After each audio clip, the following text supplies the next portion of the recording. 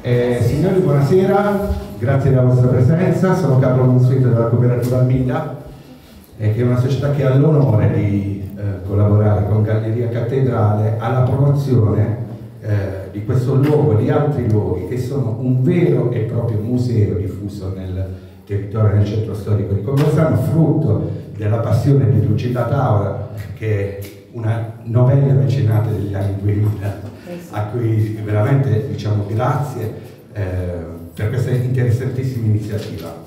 Eh, questa di questa sera è una delle iniziative che rientra proprio nella promozione della galleria. Ora, questo è uno dei sei luoghi di cui si compone la galleria e vi a, che vi invitiamo a visitare anche nella giornata di domani, di domenica, con le aperture delle serali dalle 19 alle 21. Eh, stasera presentiamo questo libro. Eh, su ispirazione del dottor Labate, Angelo Labate, che ringrazio, eh, di Bianca Trani, eh, che non ha bisogno di presentazioni, e magari poi lascio fare a loro. Eh, cedo la parola a Mariano Rizzo, che è un altro autore a cui Conversano deve molto, perché molta della propria produzione riguarda proprio personaggi di Conversano, da Paolo Finoglio a Gian Girolamo II al Qualiva d'Aragona, romanzi storici molto belli, affascinanti, interessanti che vi invito veramente a leggere se non l'avete già fatto. Uh, Mariano, professoressa, buon lavoro a voi. Grazie Carlo e grazie a tutti per questa accoglienza calorosa, credo che questo sia il termine più adatto perché avete sfidato l'ondata di caldo per essere con noi stasera e quindi la vostra presenza è ancora più preziosa. Eh, benvenuti e mm, io sono veramente molto felice di essere qui stasera perché eh, Conversano per me, lo ha detto Carlo, è un, eh, ormai è la mia città d'adozione eh, ed è una città bellissima perché eh, racconta la storia e racconta le storie. Perfino il luogo in cui siamo, noi qui siamo nei sotterranei del castello di, di, Convers- di Conversano, che è stato teatro di eh, tantissimi eventi storici che hanno un po' plasmato il nostro territorio, la nostra storia, quello che siamo noi oggi, perché quello che siamo noi oggi è l'effetto domino di quello che è successo nei secoli passati. E proprio da queste stanze sono passati tanti personaggi che a me, come eh, è stato appena detto, sono molto cari. Abbiamo nominato eh, Gian Girolamo II, ma potremmo fare tanti altri nomi, però mi vorrei soffermare brevemente per introdurre la nostra ospite sulla moglie di, eh, di Gian Girolamo II, Isabella Filomerino, passata alla storia con una tradizione però molto postuma, come l'aspide delle Puglie, perché si dice che fosse tanto crudele, tanto efferata quanto lo era suo marito. Ecco, questa, senza dilungarci troppo, perché poi magari ne avremo da parlare in futuro di Isabella Filomarina, ehm, però questo personaggio incarna un archetipo a cui, eh, anche se non ci pensiamo, eh, c'è molto familiare, che è la donna, quindi la femminilità, di potere e crudele. Quindi queste, queste tre eh, caratteristiche, diciamo, ci sono molto familiari perché eh, siamo abituati a eh, ascoltare le storie di donne crudeli al potere sin dalla nostra infanzia pensiamo alle, alle fiabe, no? quando parliamo, parliamo, di regine cattive, eh, ci viene in mente Biancaneve, ci viene in mente eh, tante fiabe in cui c'è questa figura crudele di, di matrigna o di, di, sovrana cattiva, ma anche la, la musica lirica, no? la Turandot che, che uccide i, i poveri principi che non sanno rispondere ai suoi indovinelli. E sempre per capire quanto sia labile il confine tra le, le storie e la storia, in realtà anche la storia ha questi, queste protagoniste cattive. Basti pensare, eh, chiedo scusa, un po' di silenzio, grazie. Um, basti pensare ad Ersebet Bathory, la contessa di sangue, che realmente uccideva 40 vergini all'anno per farsi il bagno nel loro sangue e rimanere giovane per passare per eh, Lucrezia Borgia, tante donne eh, cui magari de, de, la cui crudeltà magari in tempi recenti è anche stata messa un po' in discussione perché ci sono stati processi di damnazio memorie, però ecco, è un, il, il prototipo, l'archetipo della donna al potere e crudele è un, eh, ci è molto familiare perché fa parte anche del nostro DNA in quanto pugliesi, in quanto, eh, in quanto parte della storia della Puglia, lo abbiamo visto con Isabella Filomarino, però quelle che ci presenta oggi Bianca Tragni sono quattro regine sciagurate di Napoli, quattro donne che in tempi diversi, in epoche diverse, hanno, si sono sedute sul trono di Napoli e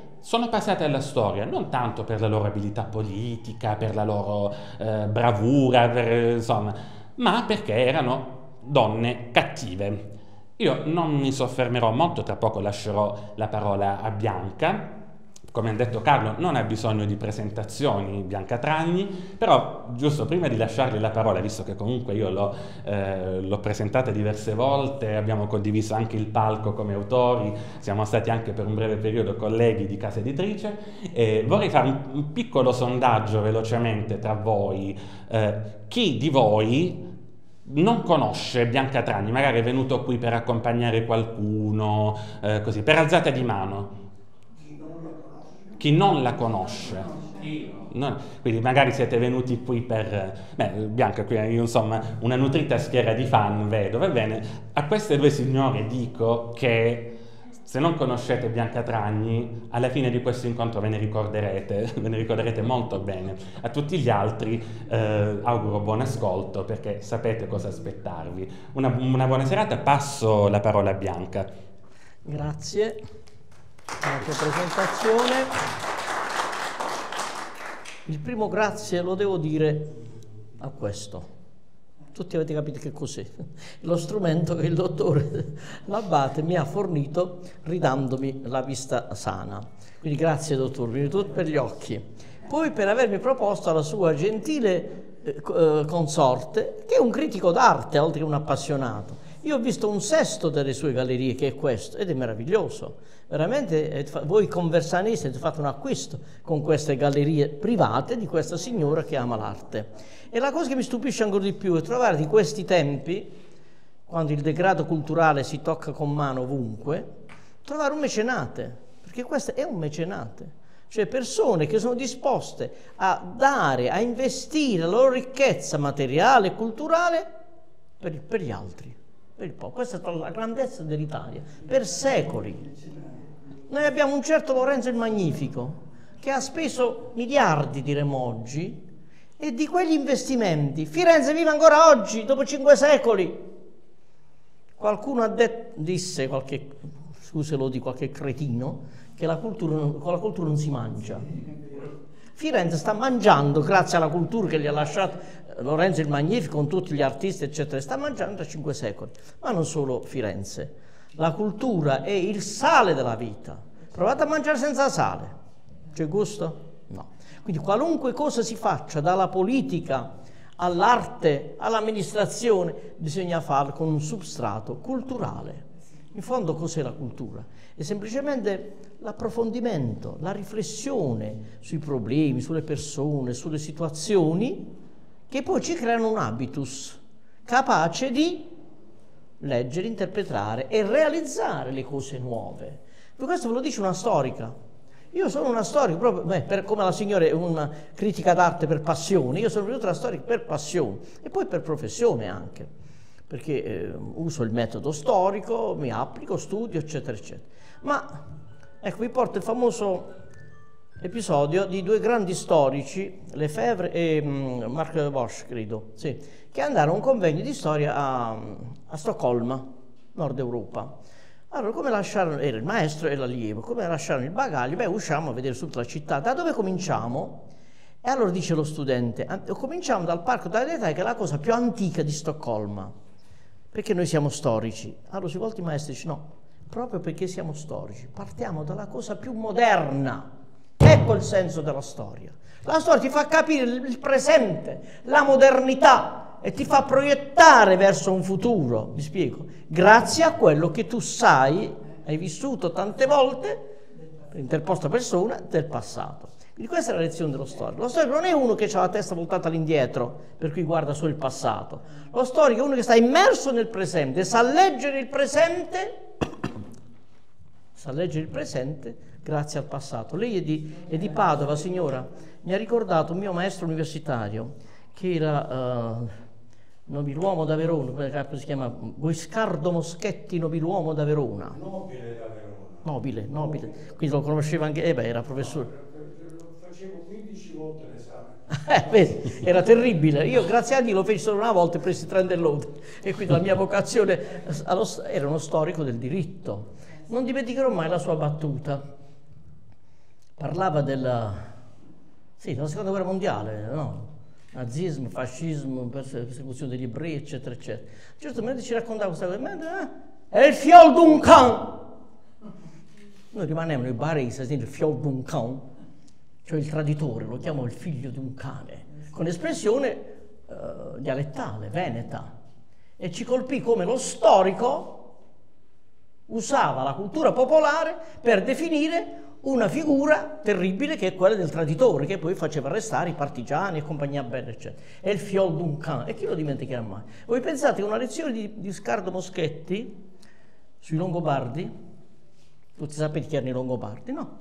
questo popolo che viene dal nord, occupa la Lombardia e non solo la Lombardia, occupa Spoleto, occupa Benevento, occupa un po' di Puglia, un po' di tutto. Però i lombardi ritengono che siano solo i loro antenati perché sa, la Lombardia, Milano e compagnia bella. Uh, a proposito dei, dei Longobardi, eh, adesso ho perso il filo, eh, la stanchezza, il caldo, cosa fa? Ma lo riprenderò a breve. Sempre a proposito di Guiscardo uh, Moschetti. Ah, ecco, la sua lezione cominciò con queste tre parole. Si quis langobardus egrotaverit. Se qualcuno sa il latino, capisce che vuol dire. Se qualche longobardo si ammalava, vabbè, eh, che succede? Tre lezioni su queste tre parole. Tre lezioni per spiegarci come questo popolo nomade divenne residenziale e divenne il fondatore dell'italianità. Perché molte, ma forse la maggior parte delle parole italiane viene da longobardo. Noi pensiamo in tutta latina, no, a volte vengono da latino ovviamente. Ma per esempio il mio nome, io mi chiamo Bianca. Da dove viene stu Bianca? In latino non esiste Bianca. In latino è, Candidus, per dire il bianco, si dice Candidus. C'era un amico di Roma che era un latinista, non mi chiamava, Can, mi chiamava Candido. Ma perché mi chiami Candido? Perché in latino bianco è Candido, mentre in longobardo è bianca, ma per dire questo tant'altro. E quindi uh, il grande storico, su tre parole, ci costruiva tutta la storia di un popolo, la storia di una nazione italiana che nasceva con i Longobardi, con la lingua e soprattutto, qual era l'esempio di questo Longobardo de Grotavit? I nomadi, i tutti i popoli nomadi, quando uno si ammalava si lasciava sul ciglio della strada e loro continuavano e quello moriva lì di morte naturale. Invece se Robert, era l'editto di Rotary, lui ci stava spiegando l'editto di Rotary come storico del diritto italiano, se Rotary prevede che uno si ammala e se si ammala ci sono delle conseguenze giuridiche, vuol dire non è più nomade, vuol dire che ha cominciato a mettere le radici e quindi si rifà al diritto romano, perché l'editto di Rotary, l'editto di Rotary è la prima legge italiana, mi spiego? Che però risente di quella latina e risente anche degli usi dei Longobardi. E quindi pensate, questo grande professore, nobiluomo da Verona, eh, ci spiegava tutto questo grandi fenomeni storici partendo da queste tre parole. Cosa voglio dire? Che la storia può essere anche molto sintetica, con degli esempi, con delle frasi, con dei personaggi, però poi da quelli bisogna sviluppare il discorso. E così è per le mie care regine. Care proprio no, però siccome l'ho studiato, quando uno studia si appassiona anche alle cose che studia. E il, il mio punto di vista è esattamente opposto al suo, perché lui ha fatto l'elogio delle regine cattive Tanto questo è un libro sulle regine cattive, ce ne sono tante, nelle favole, qui a Conversano. Qua. No, io sono partita dalle regine buone, cioè dal, dal, da, dice, dal topos della regina. Infatti la mia introduzione riguarda il concetto e la figura della regina. Chi è la regina? La regina è un modello, ma un modello positivo, non negativo. Pensate alle bambine. Ma chi non ha giocato da piccolo a fare la regina? Quanti litigi fra compagni? No, la regina sono io, no, la regina faccio io? Perché si voleva interpretare la figura più bella della donna, con la corona, con i gioielli, con i vestiti, con il potere. con il potere. Quindi la, l'icona della regina è un'icona positiva. E io parto, pensate, proprio dall'ultima grande regina, Elisabetta II d'Inghilterra, perché era morta appena un anno prima, io stavo studiando, stavo scrivendo, e rimasi veramente impressionato, io come tutti penso, come le sue esequie, il suo famoso funerale, è stato seguito in tutto il mondo, il mondo visione. Lo seguono in Australia, in America, in India, in, ovunque, non solo nel Commonwealth dove c'è un legame anche politico commerciale, no, ovunque. Perché? Dicevo, ma perché tutta questa popolarità? Infatti, sta regina che ha fatto granché, ha fatto il suo dovere, ha saputo fare la regina ha mantenuto uno stile, una plomb, gli passava tutto da sopra, tutti gli scandali dei figli, delle more, come, come, acqua sul marmo, lei rimaneva imperterrita, impassibile, sempre perfetta, col suo cappello, con le sue spille, i suoi gioielli, eccetera. Quindi un'icona positiva, tant'è che gli, gli inglesi la adorano, la adorano. La prima volta che andai in Inghilterra, io ero ragazzina, rimasi sorpresa a vedere una pare che in un negozio, in una casa, mi ricordo dopo, un'edicola con la figura di Elisabetta e il cielo vicino. Oddio, dico, ma questa la vedono come una santa, ma questa è la regina, non è una santa. Altro piccolo episodio. Mia figlia lavora all'Europa, alla Commissione Europea, dove ci sono di tutte le nazioni, inglesi, tedeschi, francesi, di tutto di più. Una mattina la loro collega inglese si presenta con una torta la candela, festeggiamo, diciamo, perché è il tuo compleanno, chiedono i colleghi. No, è il compleanno della regina.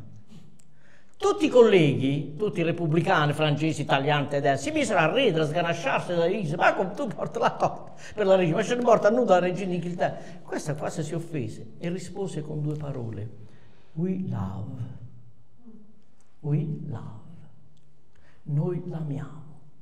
Questo è il modello della regina. La donna che si fa amare perché? Perché rappresenta un popolo, lo rappresenta bene, porta dietro di sé secoli di tradizioni, di vicende, di vittorie, ma anche di sconfitte, eccetera, eccetera. We love, questa è la chiave. Noi l'amiamo. E allora, partendo da questo aspetto positivo, come mai mi sono messa a studiare queste sciagurate? Allora, leggendo questo libro, spero che vorrete leggerlo, si ha l'impressione che è un libro di gossip. Qualcuno l'ha detto, ma tu scritto un libro di gossip tutte le malefatte facevano questo, gli amanti, gli amorazzi, non vi dico. No, sembra un libro di gossip, questo è un libro di politica, perché io so, ho cercato di andare alle radici dei difetti dei meridionali, prima dei napoletani, poi dei meridionali in genere. Eh, quei difetti universalmente riconosciuti. Vogliamo cominciare da quello della terra, la sporcizia. Le città del sud sono certamente più sporche di quelle del nord. Dobbiamo vedere i giornali, le televisioni, tutti i giorni si trovano mucchi di immondizia da tutte le parti. Cioè noi siamo quelli, dico noi per dire in generale, non voi o io personalmente, quelli che fumano e buttano il pacchetto di sigarette per terra, che mangiano una cosa, ma i bambini, quello mi, mi spaventa, i bambini che vengono educati ancora così. Allora se mangiano la, la chewing gum, la, la, la merendina, la carta che poi è plastica e quindi è inquinantissima, buttata per terra. E io mi chiedo, ma da dove viene questo habitus maledetto? Di sporcare, ma non la casa. Se voi andate nelle case dei pugliesi sono l'independente. Cosa sporchiamo? Ciò che è pubblico. Perché non lo sentiamo nostro. Questo si chiama mancanza di senso civico. Allora uno dei primi difetti dei noi meridionali è questa mancanza di senso civico, che sta non solo nel buttare immondizie per terra, ma anche nel passare col rosso o nel, quando vedo quei ragazzini che prendono gli alberi giovani appena piantati boom, boom, boom, e giocano ad estirparli. Li avete mai visti? Ci sono, ci sono. O quelli che vandalizzano i giardini o le insegne. Sono fenomeni endemici. Ecco la ricerca lo sta dicendo. Ma perché si chiede lo storico? Siamo così. Non parliamo della corruttela, che è diffusa non solo al sud ovviamente, però Pensate al napoletano imbroglione, ah, eh, che raggira, furbo, intelligente, furbissimo, questo modo di vivere ingannando gli altri. Ma da dove nasce? Allora, siccome sono anche un po', no, un po' totalmente femminista, sono andata a cercare queste donne. Cercare, conoscevo nelle grandi linee, sono andata ad approfondire. E sono venute fuori queste quattro donne e mi è parso interessante scriverle queste storie. Però prima per il gusto di, di, di, del, del, macabro, del cattivo, del crudele, dell'erotico, del, del, del lussurioso, eccetera, eccetera, ma soprattutto per andare alle radici dei difetti del sud. Che quando voi andate al nord, la prima cosa che vi dico è così, ah voi siete terroni. Ieri circolava su Facebook una dichiarazione di quell'illustrissimo giornalista che, aiutatemi, come si chiama? Quello, quello di destra. Feltri, Feltri, Feltri di Vittorio Feltri. Sì, mi pare Feltri, Feltri, che dice i meridionali sono inferiori. Ma questa è una cosa che sanno tutti, è una cosa ovvia. Anche gli scemi capiscono che i meridionali sono, sono inferiori. Allora l'intervistato dice, ma come inferiori? Dice, no, in senso antropologico, in senso economico, igienico, e fa tutta la lista, sanitaria, noi siamo tutti inferiori. E lo dice Feltri, non lo dice l'uomo della strada, c'è un intellettuale, un direttore di giornale, un opinionista, mi spiego. Se uno meridionale va a studiare, a lavorare, la prima cosa, ah, terrone, tu sei terrone. Prima, lo dicono con disprezzo. Mentre io dico, dicevo sempre ai miei alunni e ai miei amici, dico, dovete rivoltare la frittata. Cioè dovete dire che il termine terrone è un orgoglio per noi, essere figli della terra. Sapete chi fece questo rovesciamento di significati? Il dottor mi consente, faccio una, paresi, una parentesi federiciana, che il mio amore per la storia parte da Federico II di Svevia. Quando lui partì dalla Sicilia, aveva appena 18 anni, per andarsi a riconquistare le terre dei suoi avi, cioè la Svevia, eh, l'Alsazia, tutte le terre della, della, della Germania, i, i, i, i, nobili principi tedeschi, forti, forzuti, pieni di armi, di barbacce, così, eccetera, eccetera, disse, ma chi è questo puer Apulie? Che tradotto vuol dire un ragazzino, un puer, della Pulie, dove la Puglia era tutto il sud. Quindi è come dire ha avuto il rungello. Che ce ne facciamo di questo? Come a Re ce lo mangiava in un boccone. Infatti lui arrivò nudo e crudo, senza armi, senza cavalieri, niente, non vi racconto tutte le epopee del suo viaggio. Pensavano di mangiarsi in un boccone. Con la sua intelligenza, con la sua abilità, li mise tutti nel sacco. Vinse, diventò l'imperatore, eccetera, eccetera, eccetera. Quando tornò e finalmente arrivò in Puglia, perché in Puglia è arrivato tardi, lui aveva già 26 anni, arrivato a 4 anni, figurati, era già Tanto gli piacque la nostra terra, questo per dire a quelli del nord, altri che terruni, che se ne innamorò e stabilì la sua vera capitale a Foggia, un po' per ragioni logistiche, perché era, non dica metà strada, ma più vicina, sia alla Sicilia sia alla Germania, ma si innamorò proprio della terra. Lui a Foggia aveva il mare, i laghi, i monti e la pianura. Sui monti andava a cacciare con, con, il falco, ma anche sui laghi, perché tutti gli uccelli di passo, lui con i, i falchi li ghermiva. Uno dei miei ultimi lavori è stata proprio la vulgata del De Arte Venante cum avibus, ma non vi parlo di quello se non andiamo troppo fuori del seminario. Qual è il rovesciamento di significato? Che quando lui arrivò in Puglia scrisse, ordinò e fece scrivere, noi che siamo, non plurale maestatis, no? che siamo chiamati puera pulie, in senso dispregiativo. Ci definiamo Puera Pulie, cioè figlio di Puglia. Una cosa bellissima. Cioè tu mi dici che io sono un terrungero, io ti dico che sono il figlio di questa terra meravigliosa. Allora questo è il rinascimento che dobbiamo fare anche noi quando andiamo al nord e ci sentiamo chiamare terroni. Noi siamo i figli di questa terra bellissima e nobile che la. Venitela a vedere. Vengono qua e poi rimangono incantati. Abbiamo visto il successo del turismo, non solo quello normale, ma adesso anche quello dei, dei grandi del G7, no? Sono rimasti tutti incantati dalla bellezza della nostra terra. Quindi capite che significa rovesciare il significato. Torniamo alle, alle cattive regine, alle, io dico sciagurate, perché non mi, a me non mi interessa il giudizio morale su di te, regina puoi essere una puttana quanto vuoi, non mi riguarda. A me interessa il giudizio di te come regina, cioè come responsabile di un popolo, di un potere, che era il potere assoluto, potevano fare tutti. Che cosa facevano? Facevano mangiare gli amanti dei coccodrilli. Questo era il massimo del potere. Una cosa vergognosa, una cosa terribile. Allora, adesso citiamolo un pochino, va. Chi sono? Giovanna I d'Angiò, vissuta a fine del 300. Giovanna II d'Angiò, sua nipote, stessa famiglia, insomma, vissuta nel 400. Poi c'è Carolina d'Asburgo, austriaca, proviene da Vienna, nel fine 700-800. E poi c'è Sofia di Baviera, l'ultima, che non la conosce nessuno perché questa ha regnato appena un anno. È stata l'ultima regina di Napoli, la moglie di Franceschiello, l'ultimo re di Napoli. Perché le ho accomunate? Perché tutte e tre sono sciagurate, cioè hanno fatto grandi danni alla mia terra. Cioè io queste persone le, le, le studio, le leggo, le approfondisco dal mio punto di vista, perché io sono, come ha detto lui, come hai detto, il, uh, il domino, no? Io sono l'ultima pedina di quel domino che loro hanno messo, hanno messo in, in, in, movimento. Cioè noi tutti siamo gli eredi di quelli che ci hanno preceduti. E con questi antenati non c'è certo da stare allegri. Allora, intanto osserviamo una cosa, sono tutte e quattro non italiane, non napoletane, non pugliesi, due sono francesi, Angiò. La Carolina è austriaca, la Sofia è tedesca. Dunque, almeno possiamo esentare le donne italiane da queste colpacce, da queste colpe. Ci sarà stata pure la, la nobildonna, come si chiamava? Erzabeth Bathory. No, Isabella. No, la moglie di Isabella, Isabella Filomarini. Isabella Filomarini. Stata, ma, ma, era una, una contessa, cosa erano? Principi erano quelli. Lei era una principe di Rocca sì. Una principessa, voglio dire, non era la regina, mi spiego.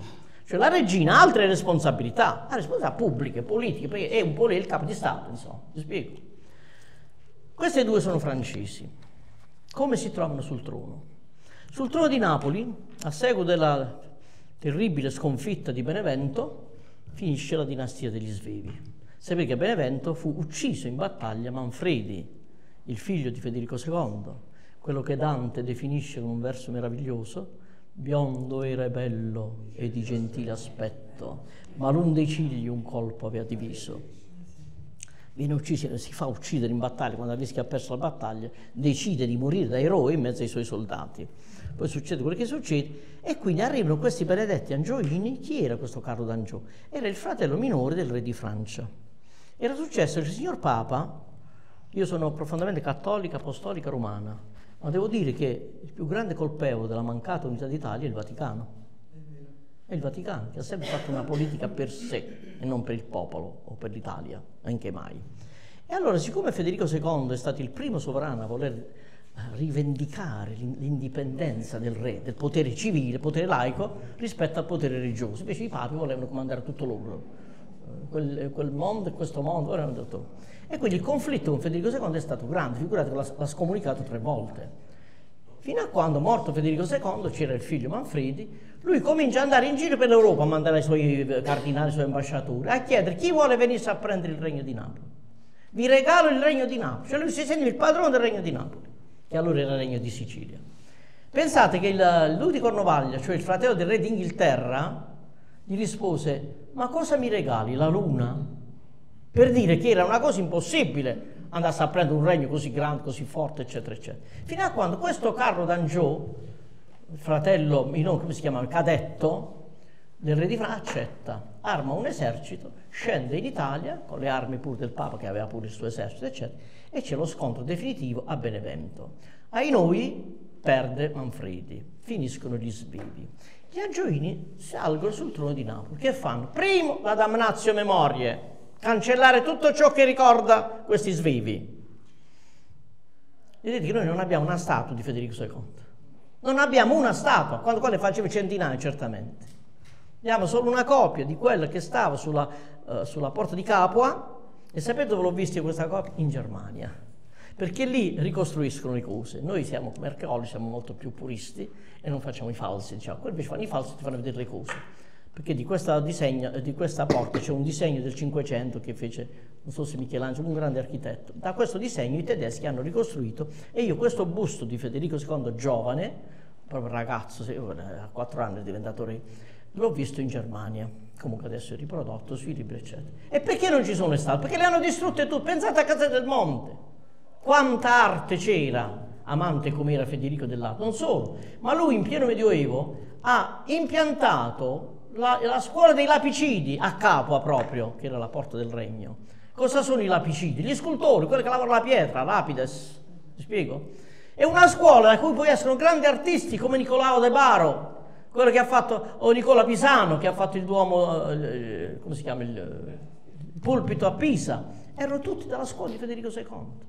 Finito Federico II, finito tutto. Le scuole, i castelli se ne impossessarono, distrussero tutto quello che potevano distruggere. Quindi il primo è Carlo, Carlo d'Angiò, Carlo I d'Angiò, crudelissimo, non le donne crudeli, avete gli uomini crudeli. Voi pensate come distrusse la dinastia di Federico II?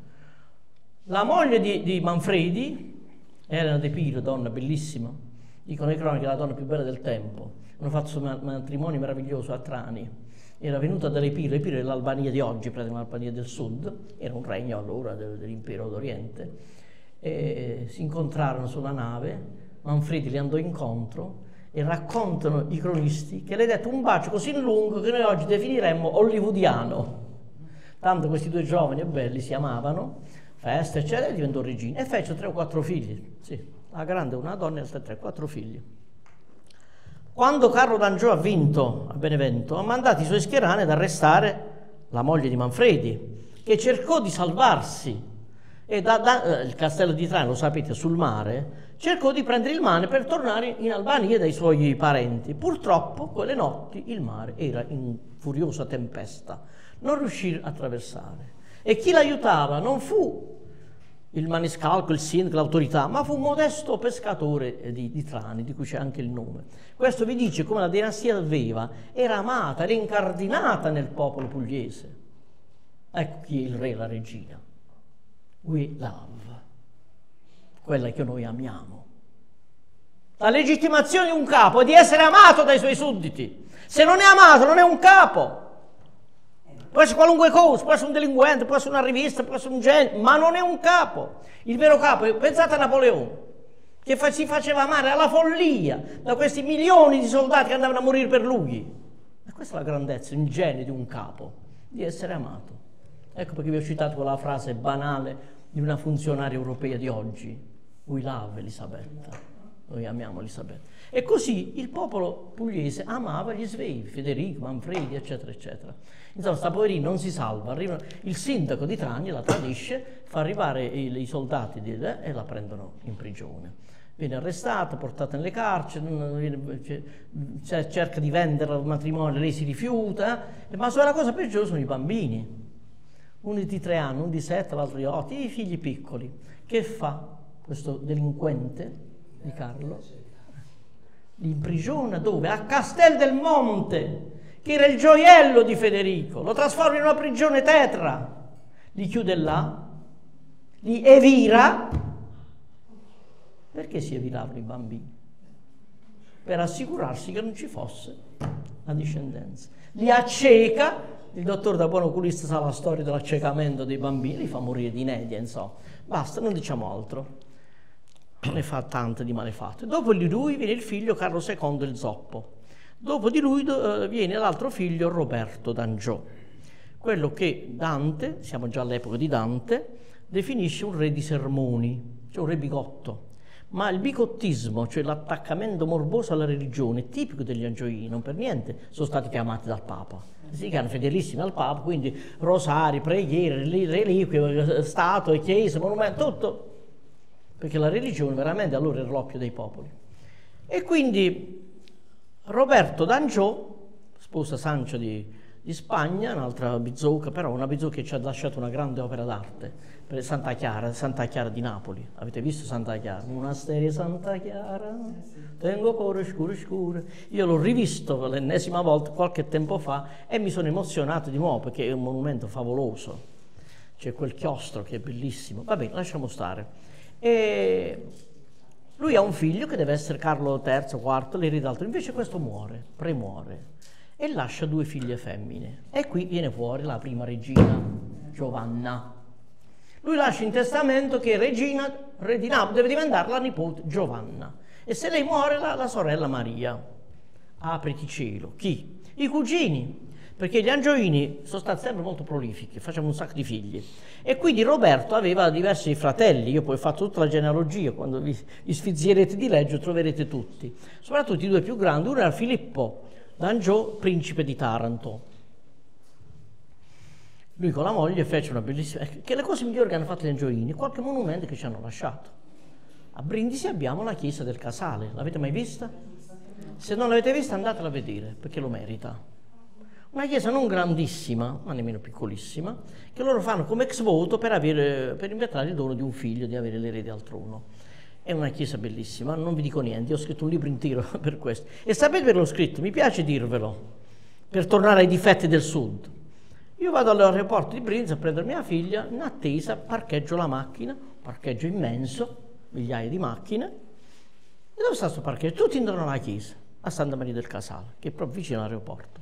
Oddio, dico, chissà se tutte queste migliaia di persone hanno mai alzato uno sguardo ad ammirare questo monumento. Boh, vado nell'aeroporto e chiedo al bookshop, mi dà un libro su Santa Maria del Casale? Questa mi fa, e che cos'è? Hm. Come che cos'è? Ce l'hai da, davanti, 50 metri lì, non sai che cos'è. È una chiesa che sta lì, signorino. Ah sì.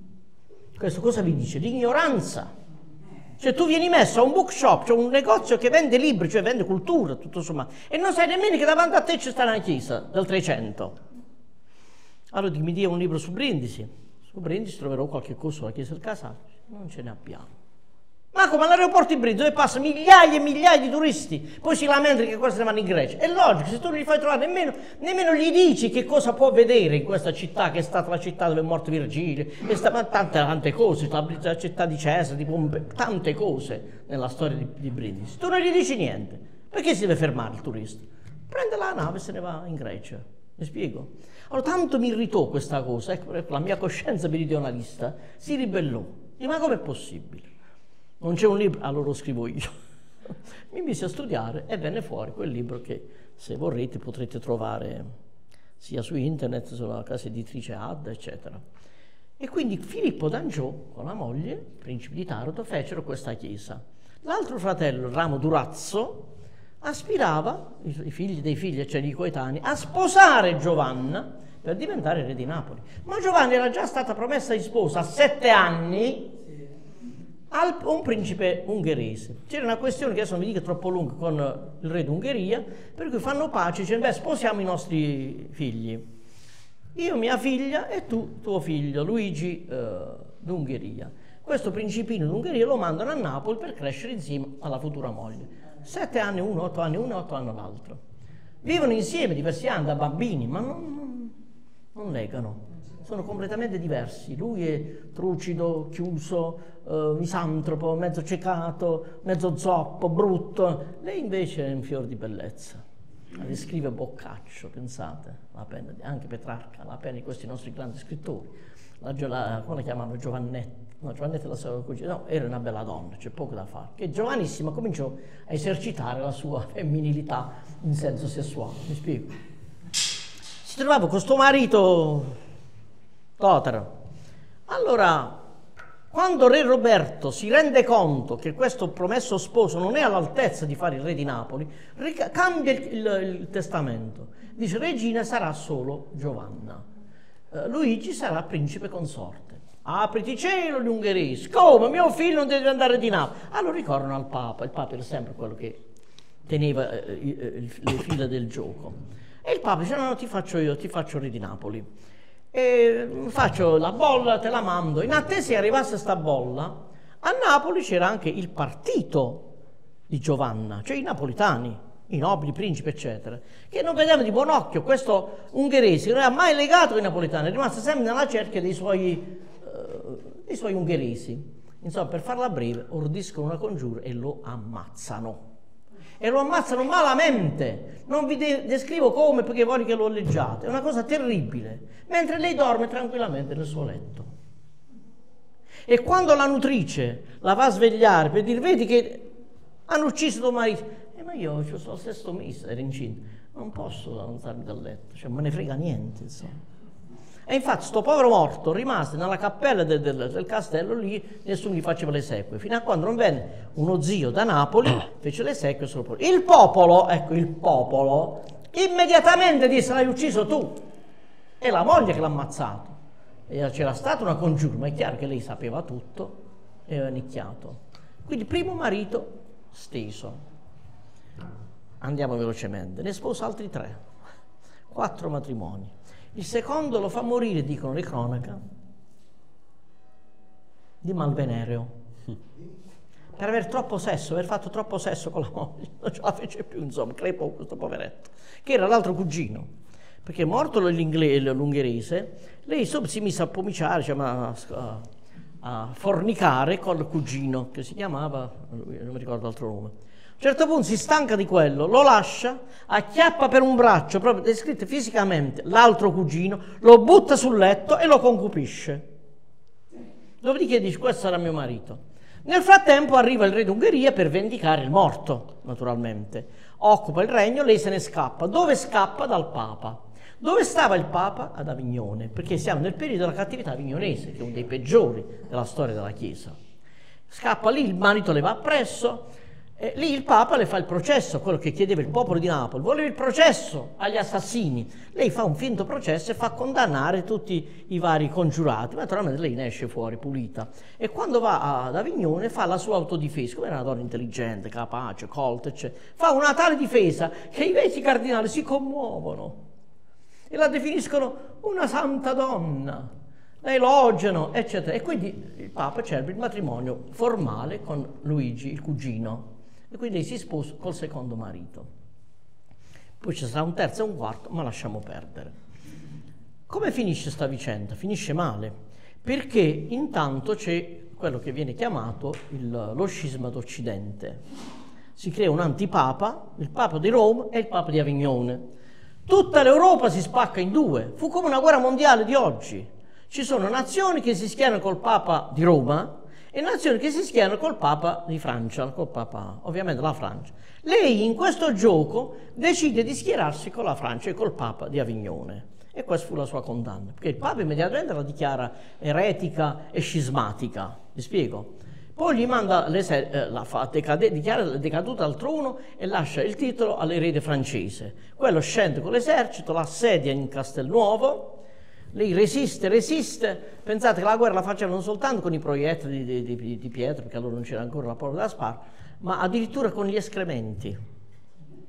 Si racconta che gli buttano dentro al castello uh, botti intere di escrementi umani e animali, una cosa terribile per farla, per snidarla fino a quando lei si accorge che sono finite tutte le provviste e i suoi stessi, vassa, i suoi stessi valletti, i suoi stessi cortigiani non hanno di che mangiare. Allora è costretta a chiedere una tregua.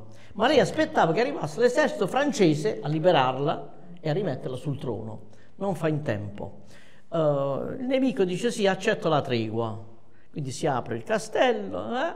la arrestano ovviamente, non mantengono la parola, la arrestano e la mandano in prigione in un paesino sperduto della Basilicata che si chiama Vallo di Lucano. No, non è, mi sbaglio sempre. Muro, Muro Lucano. Muro Lucano, mi sbaglio fra Vallo e Muro, Muro Lucano, dove c'era un castellaccio di questi angioini durazzeschi. Viene messa in prigione lì e lì muore. Come? Non si sa. Può essere morta strangolata, può essere morta avvelenata, può essere morta pugnalata, comunque dagli scherani del re di Napoli, che ormai era re di Napoli perché è nominato dal Papa. Muore.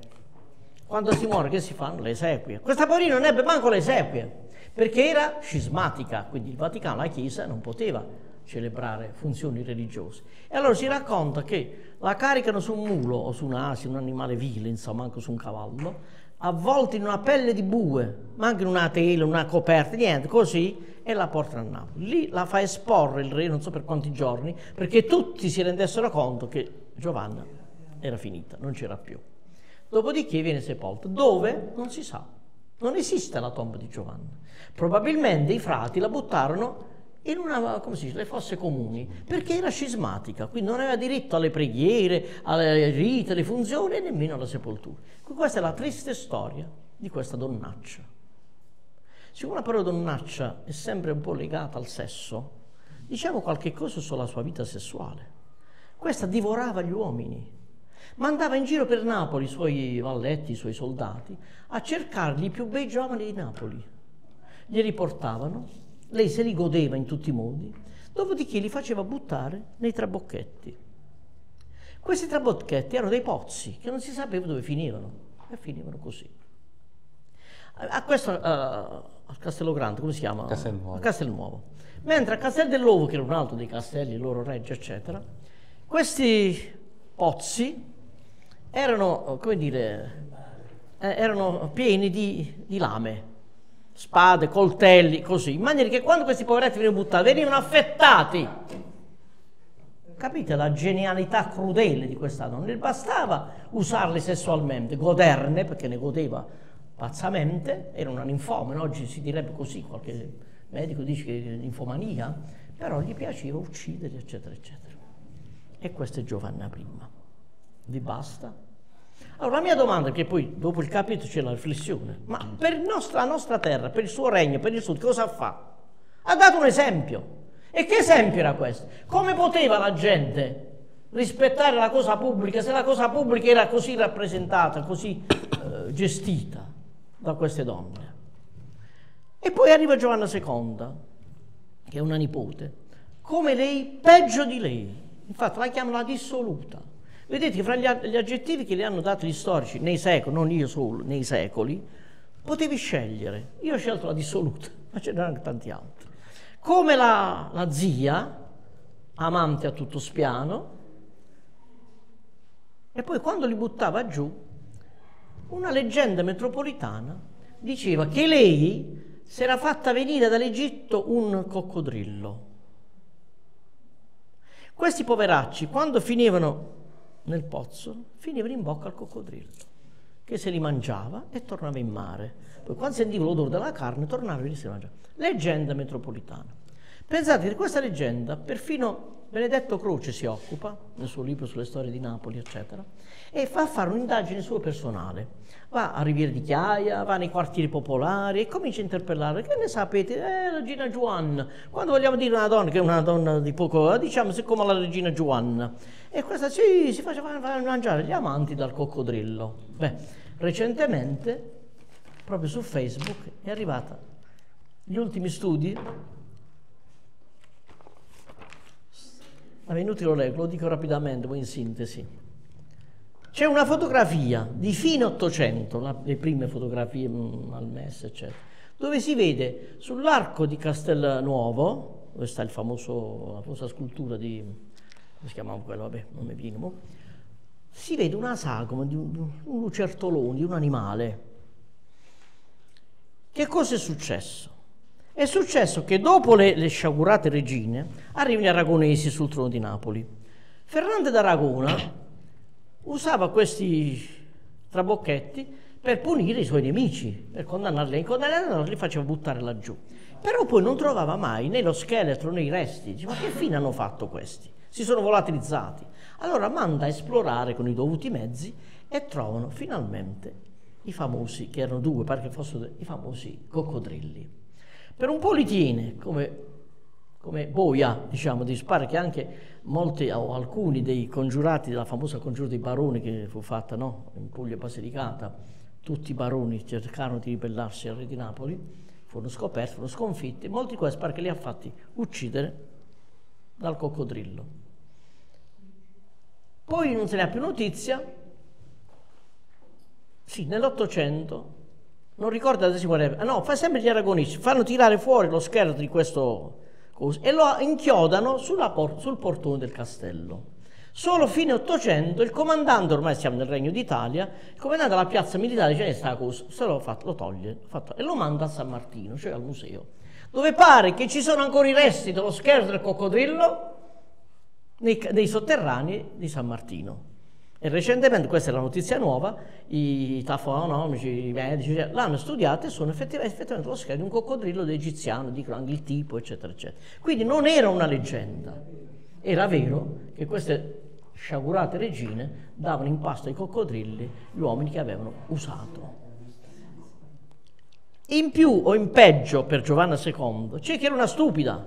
Mentre Giovanna è intelligente, è colta, è acuta, riesce a mantenere il trono nonostante tutte le lotte, i nemici, gli ungheresi, i francesi, tutti. Lei riesce a mantenere lo scettro, quindi sul piano politico è un personaggio politico, anche se non ha fatto niente di bene. E qualche cosa chiesa, mi pare delle strade, poi troverete citato anche. Invece Giovanna II, prima di tutto, diventò regina senza saperlo. Lei era la sorella del re, di re Ladislao Faceva la bella vita a corte, gli amanti, il lusso, le, fe- le cacce, i divertimenti, eccetera. A un certo punto Ladislao, che era forte, aveva messo sull'esercito, si stava imponendo nella politica italiana del 400, una malattia, non si sa quale, cade in deliquio, non fa in tempo a arrivare da Perugia a Napoli, e a Napoli muore, bestemmiando, urlando, perché nella sua giovinezza aveva tante cose in programma ancora di fare, muore. E anche lì alcuni cronisti dicono che muore di mal venereo perché anche lui era un altro puttaniere di quelli unici. Questa ragazzina si trova a fare la regina di Napoli, senza capire niente né di politica né di cultura, niente. Allora chi prende il potere a Napoli? I suoi amanti, che sono, nemmeno li sposa, che sono, come si dice, i ministri, insomma, l'acciaiuolo, si chiama acciaiuolo diventò il padrone di Napoli, quello che decideva, e per fortuna non fu nemmeno un cattivo amministratore.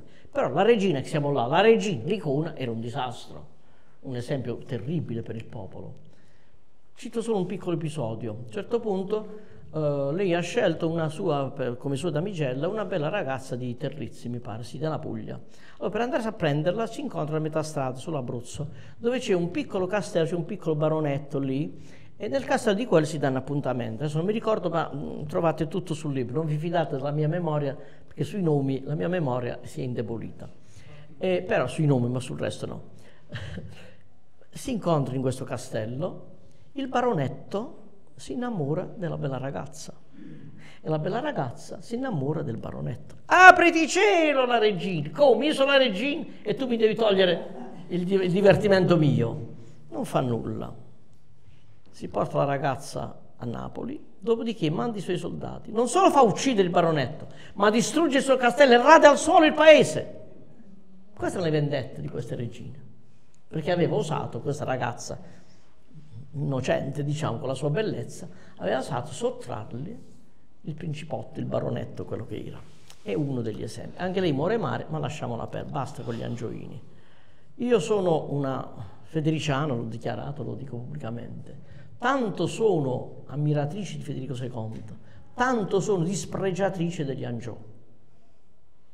Una volta mi trovai a fare un, un dibattito come, uno contro l'altro con la, la, grande Pina Belli di Elia, no? che è stata una studiosa grande di, di, arte pugliese, e quando lei cercava di difendere gli angiolini, io rintuzzavo, e così, e così, e... allora dice, beh vabbè, ma almeno ci hanno lasciato dei bellissimi monumenti funebri, alla faccia, tutto qua, tre secoli di dominazione per, per andare a ammirare i, i, i, monumenti funebri che stanno a Santa Chiara, in altre chiese napoletane, che erano i loro monumenti funebri. Dove si facevano seppellire con queste guglie gotiche, perché loro portarono il gotico nel sud Italia, il gotico è francese, viene dalla Francia, e loro portarono i loro architetti, i loro artisti, per cui i lapicidi di Federico II se ne dovettero andare, fecero la diaspora, se ne andare in Toscana, dove invece poi fu coltivata l'arte di tutti, scultori, pittori, ingegneri e compagnia bella, grazie ai medici e, e quelli che è tutta la dinastia dei medici, diciamo così. Quindi di positivo io negli angioini non ci trovo nulla. La mia più grande contraddittrice, come vi ho detto, la professoressa De Lì, allora dice, beh vabbè, almeno ci hanno lasciato le grandi tombe. E eh, vabbè, questo te lo riconosco, che sono i monumenti bellissimi. Facciamo un salto di tre secoli. Se vi siete stancati, ditelo io mi posso anche fermare, devo bere un po' d'acqua però. Arriviamo alla fine del Settecento. Sul trono di Napoli adesso ci sono i Borbone, che come sapete conquistarono questo trono nella battaglia di Pitonto. Come vedete la Puglia c'entra sempre, eh? non era marginale, era, era importante come regione del Regno di Napoli. La battaglia di Benevento sono le famose guerre di successione in tutta l'Europa e la guerra di successione fra austriaci e spagnoli guida l'esercito spagnolo il figlio del re che si chiamava Carlo ed era figlio del re di Spagna, ma la madre era Margherita di Farnese di Parma. Con chi abbiamo parlato di Parma prima? Non mi ricordo. Con te, a che proposito? No, Federico II della sconfitta. Ah, ah, ah. Sì, la, la, sconfitta di Parma, no. Adesso a Parma regnavano i Farnese, la famosa dinastia, messa su anche quella nipoti del Papa, c'è una grande dinastia però. Eh. E, quindi lui è un Borbone farnese, diciamo così, la madre è farnese e il padre è Borbone. Vince la battaglia, allora il padre dalla Spagna fa il gesto sovrano, gli regala il trono di Napoli e quindi diventa re di Napoli col nome di Carlo III di Borbone. Diciamo subito che questo è stato il migliore, il più grande re borbonico. Ha fatto grandi cose, molte ne avrebbe fatte ancora se fosse rimasto. Non ve le sto a elencare per non andare troppo per le lunghe. Gli è che dopo di lui Ebbe diversi figli, il primo figlio nacque proprio deficiente, proprio... Io l'altro giorno in Santa Chiara ho visto la tomba e c'è scritto in latino, non ricordo l'espressione per dire proprio che è nato demente questo povero ragazzo. Quindi il, il, titolo di principe ereditario andò al secondo genito. Il secondogenito morì di vaiolo, che era un'epidemia disastrosa allora, frequentissima, eccetera. Il titolo va al terzogenito, che si chiama Ferdinando. Intanto, la prima disgrazia per noi fu che morì il re di Spagna e quindi Carlo III fu chiamato a ricoprire il trono di Spagna. Chi salì al trono? Questo bambino di nove anni, che non ne sapeva niente del governo, della corte, perché era vissuto nemmeno istruito, non aveva precettori, era il terzo cadetto, non lo curavano proprio, mai pensante che doveva arrivare al trono proprio lui. E voi pensate che il suo vero eh, maestro istitutore è stato un menino. Sapete chi era il menino? No. Allora vi ricordo, ecco la, la nostra pittrice, la nostra critica d'arte, il Velázquez, il grande Velázquez, Las Meninas, quel quadro meraviglioso dove si vede il re e la regina che stanno dietro la tenda. Poi c'è la principessa, la figlia, la bambina, e l'asme due o tre nane. Le menine, infatti, al Franges Menignos, cioè piccolo, erano i nani che si davano ai, ai figli del re come giocattolo vivente. Servivano a far giocare il figlio del re. E quando i figli del re facevano marachella, e meritavano una punizione, allora c'erano le punizioni corporali, no? I colpi di frusto. Questi colpi di frusto li prendeva il menino a nome del principe, il principe era sacro, non si toccava. Las meninas. E c'erano in tutte le corti, erano, ripeto, i giocattoli viventi dei principini.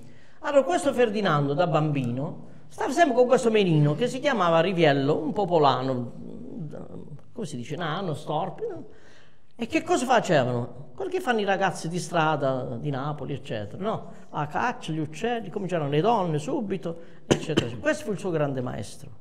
Pensate che questo, che era un criminale, ha ucciso la moglie, eccetera, eccetera, diventa uno dei capi banda del cardinale Ruffo quando ci sarà la marcia di Ruffo alla riconquista del trono ai Borboni. Vabbè. A nove anni diventa re. Ci abbiamo i quadri bellissimi, questo bambinotto con la con la parrucca, con le fasce, i simboli de della regalità.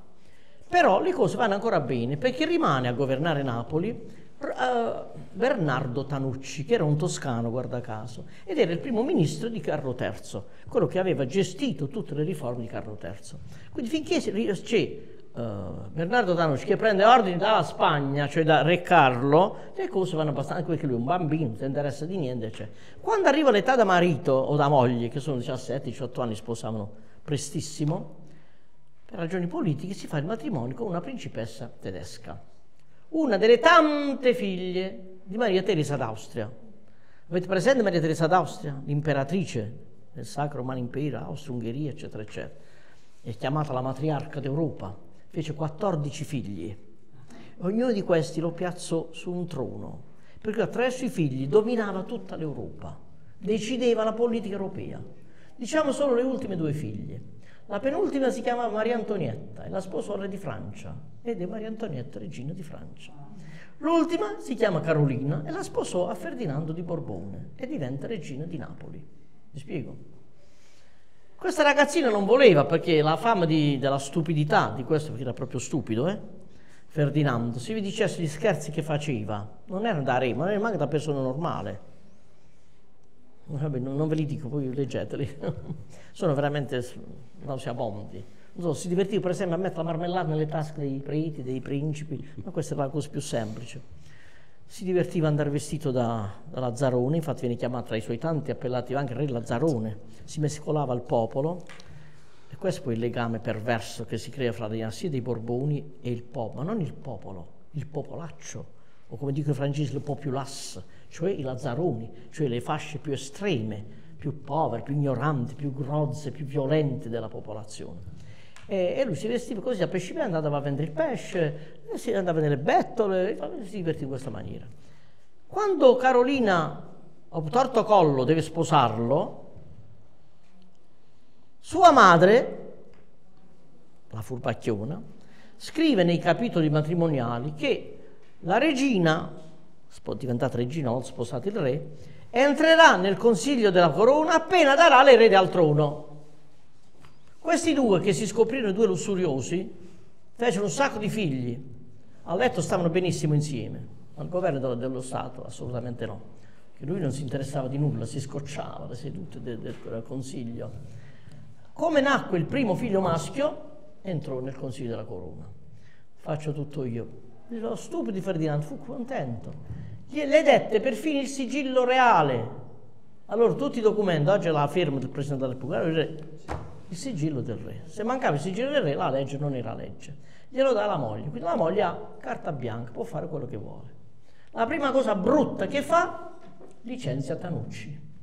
Perché Tanucci era l'unico che le teneva testa sulle cose assurde che voleva fare. Lo licenzia. E comincia così il malgoverno di Carolina d'Asburgo, che all'inizio sembra un buon governo, perché lei si pregia di fare ecco, la mecenate, invita a corte gli intellettuali, appoggia la massoneria, cosa che Tanucci, perché da uomo intelligente capiva che la massoneria non era a favore della monarchia, era un pericolo per la monarchia, quindi diceva non dare corda a quello, no, invito a corte, eccetera, eccetera.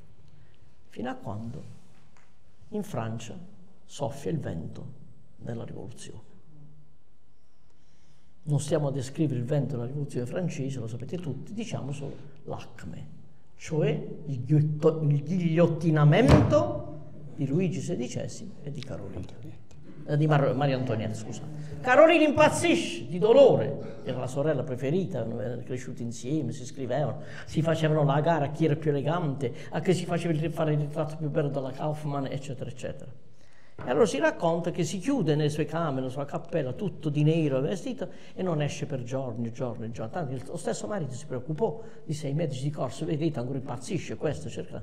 Quando esce, esce trasfigurata, diventa così, una megera, cioè carica di odio, per, col proposito netto di vendicarsi di tutti quelli che in qualche modo hanno avuto a che fare con la morte della sorella quindi di tutti i giacobini, di tutti i liberali, di tutti gli intellettuali, tutti quelli che ormai erano una classe dirigente nuova che stava rinnovando il paese. Quindi altro che la mecenata di ricevere accordo, quando si accorse che gli intellettuali erano con, erano con la rivoluzione francese e non con la monarchia, fece stragi. Arriviamo al 1799, l'anno cruciale della nostra storia. Non solo della nostra storia del Sud, ma la storia d'Italia. Perché come ben diceva Maria Antonietta Macciocchi, io ne sono convinta, L'Italia non ha mai fatto rivoluzione, l'Italia non è rivoluzionaria. L'unica vera rivoluzione è stata quella di Napoli, perché è riuscita la rivoluzione così, da così a così. C'è un rivolgimento totale. Tutti il resto sono sommosse, ribellioni, ma la rivoluzione è quella che cambia il sistema. E infatti gli eroi del 99 ebbero il coraggio, loro se ne scapparono, Ferdinando, Carolini, i figli, eccetera. Ma gli eroi di Napoli, ecco questi intellettuali, fra cui Ignazio Ciaia, poeta di Fasano, Emanuele Deo prima, poi ti racconto la storia che viene prima, uh, Giuseppe Albanese di Noci e tanti altri pugliesi, ma non solo pugliesi, perché come sapete Napoli, chi?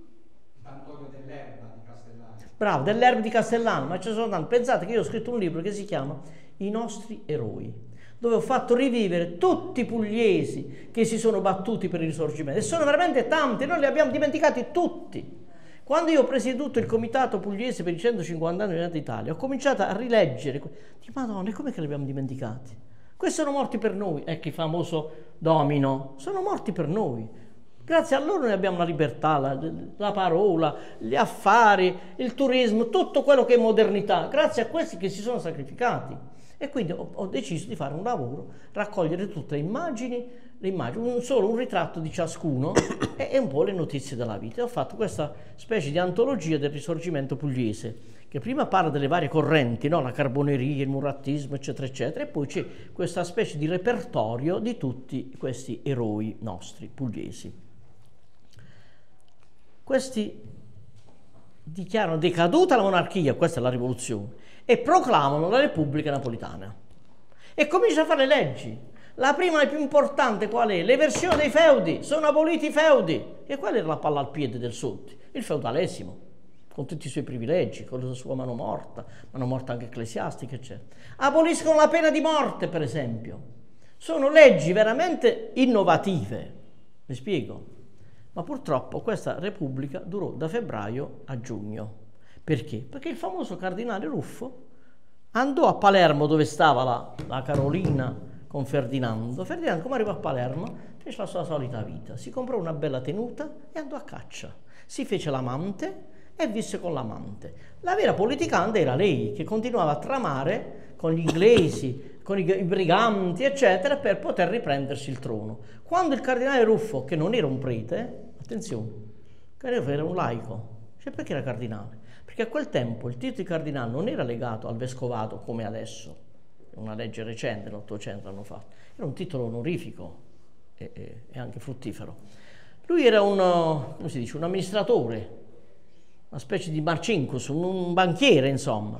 Siccome le casse del Vaticano erano a terra, lo chiamarono per le rimise in sesto e il Papa, in segno di gratitudine, gli dette non soltanto Brebente, ma il titolo di cardinale. Lui con questo titolo va a Palermo e dice al re, io ti metto la mia spada al tuo servizio per riconquistarti il regno. Non è Ferdinando quello che, ah, ma che devi conquistare tu? Io non ce l'ho più un esercito, perché si era squagliato di fronte alle truppe francesi. Ma a me mi salveranno, ecco, i Lazzari e i miei alleati stranieri, cioè austriaci, turchi, russi e compagnia bella, non lo ascolta. Invece Carolina furba lo ascolta e gli dà credito. Però di solito non c'è niente, non c'è né soldati, non ti preoccupare. Gli dà, cosa gli dà? Il simbolo, l'importanza dei simboli. Gli cuce la bandiera bianca con lo stemma dei Borboni e, e come la chiamiamo questo esercito che non è ancora nato, che deve nascere? Lo chiamiamo della Santa Fede, perché dobbiamo puntare sulla religiosità del popolo. E così Cardinale Ruffo sbarca in Calabria e fa un appello, come si chiama, un decreto, insomma, con cui chiama a raccolta tutti i suoi sudditi, perché lui era barone, da, no, Ruffo di Calabria, antichissima dinastia, venire ad arruolarsi per salvare il re e la fede. Non si, non si presenta nessuno. Questa è una cosa che io sottolineo sempre. Questa storia che il popolo adorava i Borboni non è sempre vera non è del tutto vera, altrimenti si sarebbe veramente presentati per amore del re, invece non si presentarono. Questo si trovò senza l'esercito che aveva promesso. Allora che fa? Lo dico con parola napoletana, come dico napoletana, fece la pensata, la pensata. Quale fu la pensata? Di aprire le carceri e di arruolare tutti i galeotti, assassini, grassatori, stupratori, ladri, tutti quelli che stavano in carcere. Quindi li fa uscire gli eh, commuta la pena, li, abol- no, comun- gli abolisce tutta la, la, pena, gli promette non il soldo perché non aveva soldi per pagare l'esercito, cosa gli promette? Una cosa ancora più brutta, il saccheggio, cioè noi quando conquisteremo una città giacobina, io vi darò licenza, voi li uccidere, saccheggiare, uh, arrivano a frotte, arrivano soltanto quelli con le falci, con le spade, eccetera, eccetera, i residui dell'esercito, qualche fuggiasco che sia gregano ma arrivano i saccaioli. Chi sono i saccaioli? Nullatenenti, che si presentano con un sacco. Perché quando voi conquisterete la città, noi andremo a saccheggiare. E si riempie il sacco e si portano qualcosa a casa. Questo avviene e man mano che sale alla Calabria l'esercito si ingrossa di questi personaggi, i fedeli alla monarchia, perché c'erano sempre i nobili borbonici, eccetera, eccetera. La prima città saccheggiata è Crotone, la prima vittima. Chiaramente vengono uccisi i patrioti, stirpato l'albero, la città saccheggiata, eccetera, eccetera. Poi continua a salire verso la Puglia. Acquaviva cerca di difendersi, ma viene martirizzato il, il capo, che era una bella, grande figura, ma poi non ne parliamo adesso, è troppo. Finalmente arrivano ad Altamura. E qui fatemelo dire perché è la mia città, quindi ci tengo. Altamura Leonessa di Puglia. Perché Leonessa? Perché decide di resistere al cardinale Ruffo, mentre tutte le altre città, come sentivano che arrivavano storta selvaggia, tutti aprivano le porte, chiedevano perdono, eccetera. Invece Altamur chiude le porte, rinforza le mura, si munisce di tre cannoncini e comincia a difendersi, a sparare. Quando il cardinale Ruffo manda l'ambasciatore a dire arrendetevi, quelli gli sparano addosso, quindi comincia la guerra. Quelli da una parte e quelli dall'altra a sparare. Spara tu che sparo io, morti da una parte e dall'altra. E il bello di Altamura è che, ci sono le cronache, muoiono insieme il barone e il suo pastore. Cioè combattevano insieme le classi sociali.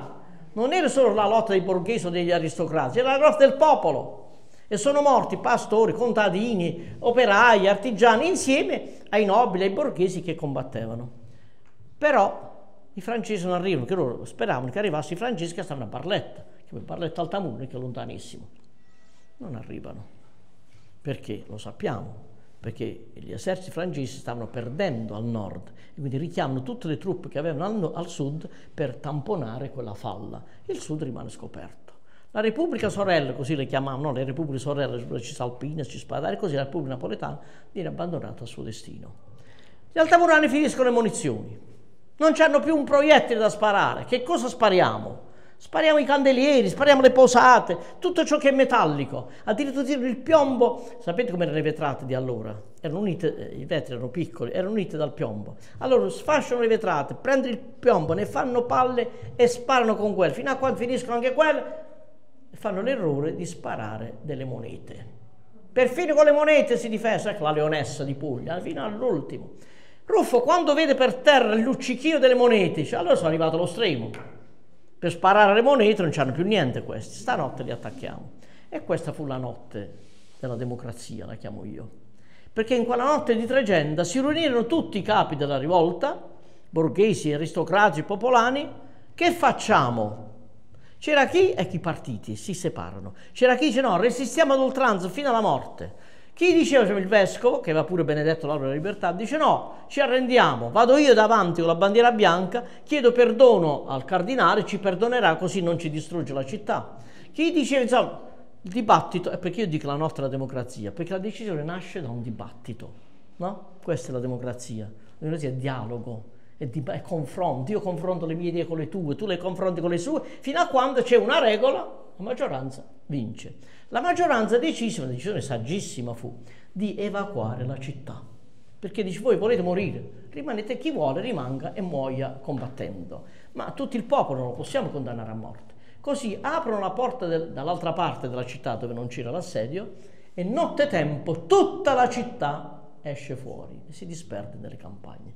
Mi viene ancora la pelle d'oca quando io penso a questa scena terrificante nel silenzio totale per non avvertire i nemici, dettero ordine di far, fare tutto in silenzio. Allora, chi raccoglieva le masserizie, chi si portava il bulo, chi si portava il trani, chi si prendeva i bambini in braccia e fuggono, nella, si spargono nella campagna. Cardinale Ruffo manda i suoi schierani calabresi, fa bruciare la porta, dice vedete ancora un tranello questo, una trappola. Entra e dice no, nessuno ci ha sparato, nessuno ha reagito, quindi non c'è nessuno. Allora all'attacco non è che va lui con i soldati, manda i calabresi, perché nella memoria collettiva di Altamura è rimasto il terrore dei calabresi. Nande c'è e più calabrisa c'è. Dialetto l'avete capito, no? È facile da capire. Perché prima che arrivassero mandavano gli altamurani, le, le, come si dice, le sentinelle, le scorte in avanscoperta per vedere e quelli mandavano il messaggio, più andiamo avanti più troviamo calabresi perché si stanno avvicinando. Oggi nel linguaggio popolare corrente nostro questa frase non si sa più le origini, ma viene detta quando le cose vanno di male in peggio. E più avanti andiamo, più calabresi troviamo. Ma l'origine storica è del 1799. Per farla breve, Cardinale Ruffo distrugge Altamura, brucia, ruba, fa di tutto, ammazza. Eh, le prime vittime furono le monache, ma non vi racconto la storia delle monache, è troppo lunga. Poi torna, eh, continua per Napoli e conquista Napoli, la famosa battaglia del Sant'Antonio, perché San, San, Gennaro li avrebbe traditi, perché San Gennaro aveva benedetto l'albero della libertà. E loro, quando è Sant'Antonio? Il 13 giugno, sì, più o meno allora la battaglia si affidano a Sant'Antonio e va bene. Che succede a Napoli una volta che Ruffo è entrato con le sue truppe? Ruffo da militare tratta con gli ultimi patrioti che si erano asserragliati in Castel dell'Uovo come tutte le trattative, avanti e indietro, Iva avanti e indietro è, il loro generale che era di Lecce, adesso non mi ricordo come si chiama, c'è anche il nome, e fanno la trattativa e firmano la resa. Cioè loro si arrendono e i vincitori lasciano salva la vita. Li fanno imbarcare sulle navi, andatevene in Francia dove volete, esuli, però vi salviamo la vita. Questo era il patto. Quando questo patto arriva nelle mani di questa megera, che stava sempre a Palermo tranquilla, no, lo prende e lo strappa e dà ordine alla sua longa manus che stava a, Paler- a Napoli, cioè Nelson, l'ammiraglio Nelson, dà ordine di sterminarli tutti, non ne deve salvare nemmeno uno. Come li stermina? Con i processi farsa. Intanto questi poveretti stanno già nelle stive delle nave, pronti per partire perché era stato promesso loro. Quindi eh, sconfessano il Ruffo che ci fa una figura terribile, ma non solo Ruffo, anche il comandante eh, russo, il comandante austriaco, ammirando come si erano battuti coraggiosamente questi patrioti, avevano firmato e anche loro vengono sconfessati dalla regina Carolina. Allora li prendono uno a uno da, dalle stive delle navi, dove stavano a marcire, pensate, caldo come oggi, ad agosto a Napoli, in mezzo al mare, e gli fanno questi processi farsa. Dopodiché li impiccano. Tutti! Non se ne salva uno. Perfino Ettore Carafa, duca di Andria, che era figlio, il padre era un grande principe, il, come si chiama, il valetto di camera del re, era uno alto, nessuna pietà nemmeno per quello. Siccome quello era un uomo coraggioso, con tutte le catene si avventò sul giudice questo, questo, questo, dire, questo torturatore, disse tu hai ragione che ho le mani regale, altrimenti faccio vedere che cosa ti facevo adesso. E questo lo fa prendere dalle guardie e lo mette sul ceppo, perché come nobile aveva diritto alla decapitazione e non all'impiccagione. Questo vi dice come la legge allora non era uguale per tutti. Perfino di fronte alla morte erano diversi i nobili dai plebei. I plebei venivano impiccati, i nobili venivano... E Ettore Carafa fa questo gesto eccezionale. Invece di tenere la, la testa così, la gira e guarda la mannaia che gli cade sul collo. Quindi muore guardando in faccia la morte gesto bellissimo, eroico. Signor Ferdinando, quando glielo dico, dice, ah, ha fatto guappo Duchina. Questo fu il commento, ha fatto guappo Duchina. Sempre in dialetto, lui parlava solo in dialetto napoletano. Bene, Carolina esplica tutta la sua ferocia, la sua crudeltà, che non solo li impicca, ma li fa torturare quello che fu fatto di onore Fonseca Pimentel e tante altre. Questa San Felice. E tante altre. Torna a Napoli. Ma dopo qualche anno arriva, chi arriva? Napoleone Bonaparte. E di fronte a Napoleone non c'è Borbone che tenga. Napoleone non arriverà mai a Napoli e nemmeno a Roma. Si proponeva ma non ce la fece. La città più a sud che ha toccato dell'Italia è Tolentino, che come sapete è nelle Marche, no? Però lui contava di fare di Roma la, la, seconda capitale del suo impero, Parigi era la prima, era tanto è vero che manda i suoi architetti, i suoi ingegneri, i suoi artisti al Quirinale e si fa cambiare le stanze, si fa lo studio per sé, per Gioseffina, insomma. E infatti noi abbiamo fatto una visita al Quirinale guidata da un consigliere bravissimo che ci hanno spiegato tutte le modifiche che Napoleone fece fare perché doveva diventare la sua reggia. Poi le cose andarono come andarono, ne parliamo più. Va bene, i Napoleonidi, due Napoleonidi, il fratello Giuseppe e il cognato Murat, diventano re di Napoli. Per un decennio noi abbiamo la modernità. Cioè questi re portano il codice napoleonico, per esempio il divorzio, l'abolizione della pena di morte, tutte quelle cose che già i patrioti del 99 avevano pre, pre, dice, previsto e, e, loro lo attuano. Poi le cose vanno come vanno, io, io vado veloce per non, perché è già tardi credo. E, ehm, Murat viene ucciso malamente quando tenta di riconquistare il regno uh, sbarcando a Pizzo Calabro. Viene tradito insomma, e viene fucilato. Prima di essere fucilato in carcere, lui scrive una nobilissima lettera a Re Ferdinando dicendo noi siamo stati nemici per tutta la vita. Tu hai combattuto me, io ho combattuto... Fa un discorso da, da soldato reale, no? Se avessi vinto io, io ti avrei lasciato libero la vita e ti avrei restituito alla famiglia. Ti chiedo altrettanto. La, uh, restituiscimi alla mia famiglia, non ti chiedo altro. Quando il signor Ferdinando, rozzo com'era, volgare com'era, riceve questa lettera, sapete che fa? Quel gesto volgare di pulirsi. Da qui voi vedete lo spessore umano di queste persone. Quello che prigioniero, sconfitto, sta per morire, chiede grazia, la chiede in maniera... Quello che risponde con un gesto degno di, del menino, degno di, di ribelli. Questa era la monarchia borbonica. Come si fa a rivalutarla? Come si fa oggi questi neoborbonici che li esaltano? Ma per carità, per carità. Saltiamo all'altra regina e chiudiamo. Di questo non si ricorda più nessuno, perché vi ho detto che ha fatto pochissimo la regina, per meno di un anno, credo. Poi è arrivato Garibaldi, eh, il trono borbonico è crollato. Ma lei non si rassegna vuole riconquistare il regno. Prima sostiene moralmente i soldati borbonici nell'ultima difesa di, di Gaeta. Infatti viene celebrato in Europa l'eroina di Gaeta perché sta vicino ai soldati. E vabbè. Poi se ne vanno in esilio, prima a Roma, dal Papa, il solito Papa che eh? e poi a Parigi. E lei frequentemente se ne va a Monaco perché lei era di Monaco, vi spiego. Allora, qual è la sua sciaguratezza? Qual è l'accusa che io le faccio, storicamente parlando? non di essere una puttana come quelle del 300, no, anzi era morigerata, era... tu hai pensato che per anni non ha consumato il matrimonio col marito. e perché? Possiamo dire, dottore? Perché il marito aveva una fimosi. Dottore, lo spieghi lei cos'è la fimosi? è un piccolo come dire, impedimento sull'organo sessuale maschile che non gli consente di fare l'atto di... E allora, quando, però pare che un impedimento anche nei bambini si fa appena nascono, una cosa semplicissima, basta tagliare un po' il prepuzio eh, e, e l'organo torna normale. Bravo, come la circoncisione, uguale.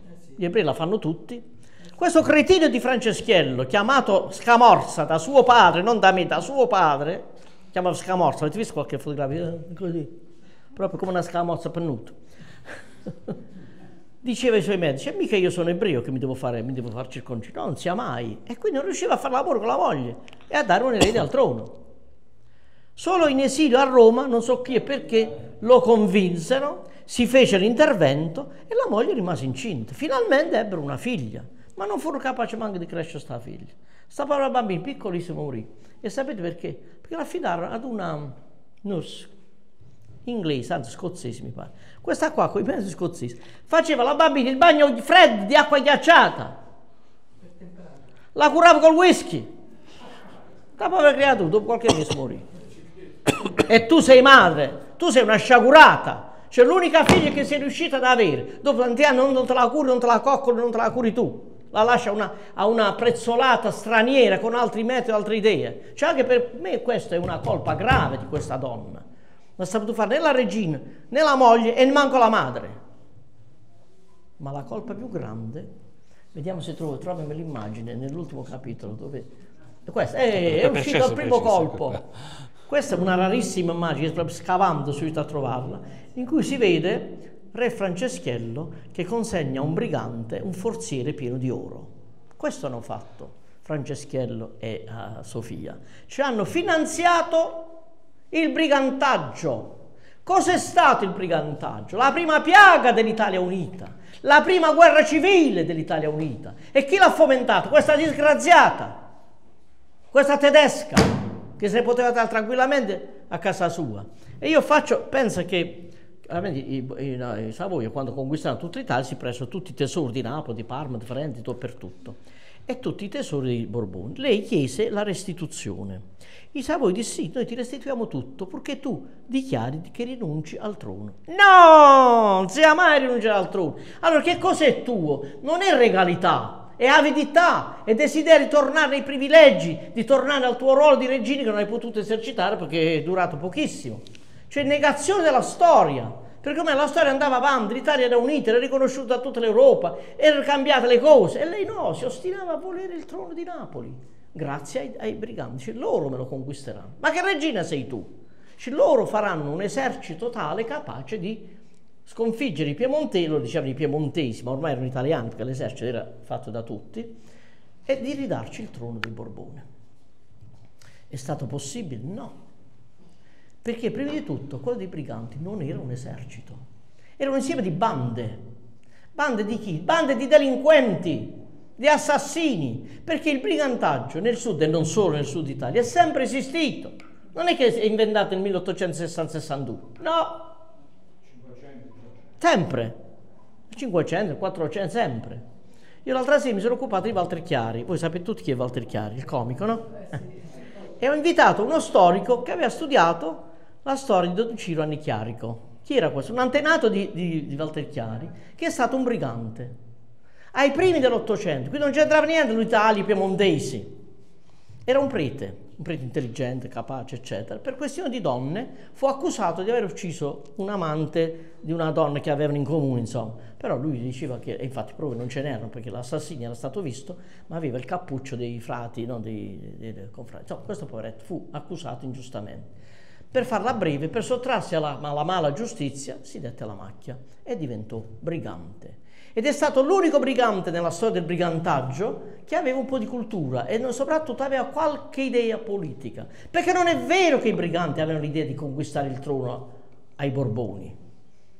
Qual è l'idea politica di Don Girani Chiarico? Addirittura la democrazia, la repubblica, pensate. Idea utopica ovviamente. E lui si, si fece capo dei, dei, dei decisi che era una delle sette carbonare dei primi dell'Ottocento. Qui siamo nei primi dell'Ottocento e lo fece, lo fece arrestare, ammazzare Re Ferdinando. Quindi non c'entra niente con l'unità d'Italia, il brigandaggio è sempre stato. Quindi in questo periodo aumentano perché il Piemonte, l'Italia impone la coscrizione obbligatoria e i, i, i, giovani contadini non volevano andare a fare soldato, perché altrimenti le terre rimanevano, voi sapete che si chiamano proletari, che l'unica ricchezza è la prole, cioè i figli che coltivavano la terra e mandavano avanti la baracca. E quindi tutti questi che sfuggono alla leva militare si chiamavano, come si chiamavano? Renitenti.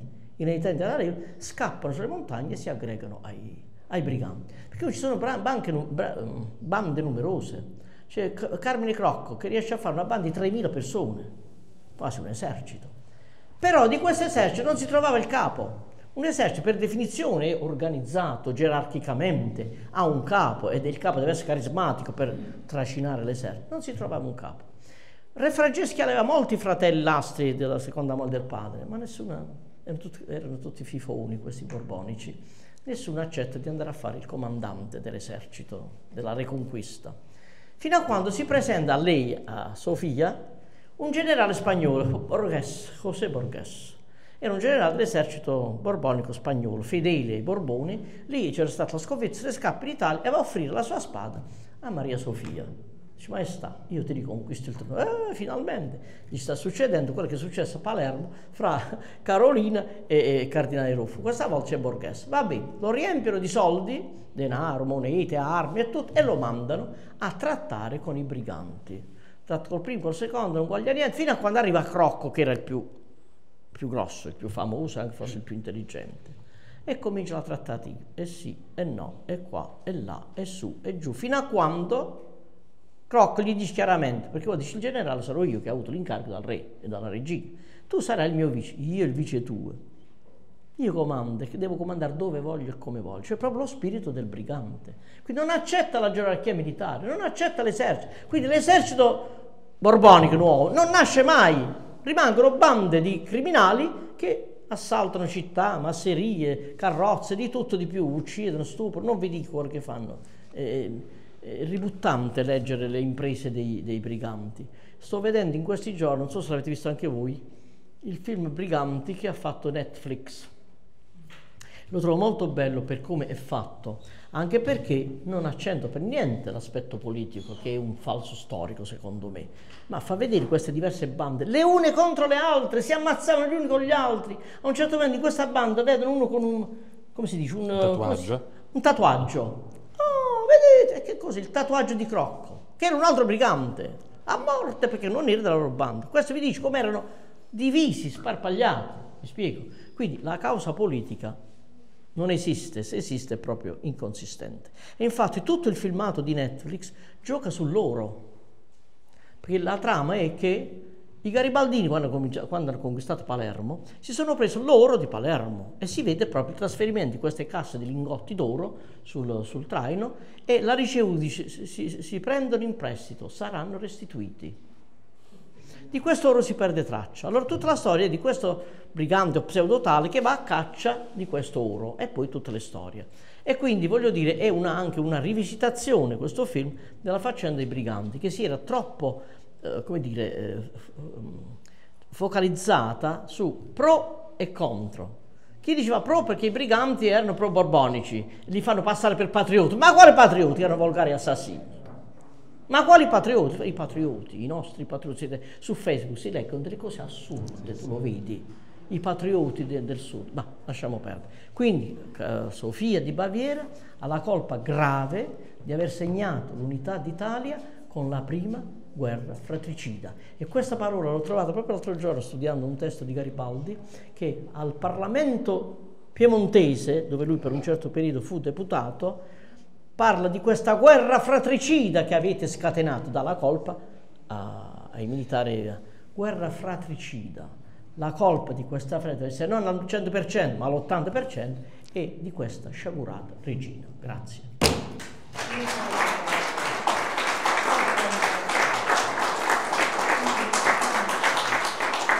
meritatissimo applauso perché io ho preferito lasciare parlare Bianca ed essere semplicemente un introduttore, ecco, perché Ma anche sapevo... un punto di riferimento, che mi sono riferito tante volte a te. Perché sapevo che insomma ci avrebbe dato tanti spunti che potrete naturalmente approfondire nel suo libro Le sciagurate regine di Napoli, che trovate in vendita alle vostre spalle. L'autrice credo che se, se ci consentono di rimanere qualche minuto ancora ci, vi potrà fare insomma le dediche, gli autografi. Io ringrazio i padroni di casa che ci hanno ospitato in questo luogo veramente meraviglioso. Io ci vengo spesso per ammirarlo, essere protagonista è anche molto bello. E ringrazio Carlo Mansueto e la cooperativa Armida per la fiducia che mi danno tutte le volte e ringrazio voi per essere stati in nostra compagnia e naturalmente Bianca Grazie a te. Se Grazie. avete delle domande io sono a disposizione.